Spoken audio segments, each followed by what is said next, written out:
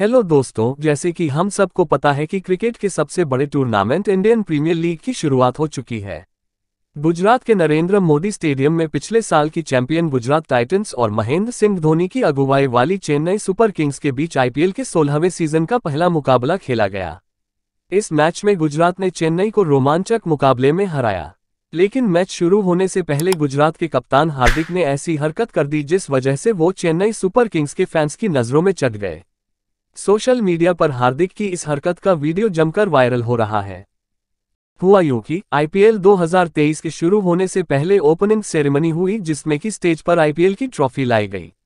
गुजरात के कप्तान Hardik Pandya, Chennai super Kings के कप्तान महेंद्र सिंह धोनी और बीसीसीआई के सचिव जय शाह और आईपीएल के अध्यक्ष अरुण धूमल एक साथ स्टेज पर खड़े थे।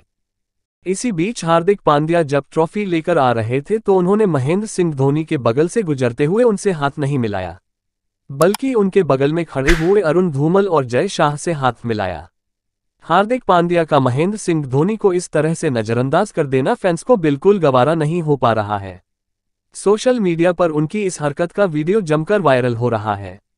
ऐसा पहली बार नहीं है कि हार्दिक ने अपने घमंड की वजह से भारतीय सीनियर प्लेयर के साथ ऐसी हरकत की हो। इससे पहले भी हार्दिक ने विराट कोहली के साथ ऐसी हरकत की है। दोस्तों, हार्दिक का इस तरह से अपने सीनियर प्लेयर को नजरअंदाज करना कितना सही है? इस बारे में हमें नीचे दिए गए कमेंट्स बॉक्स में ज़रूर लिखिए।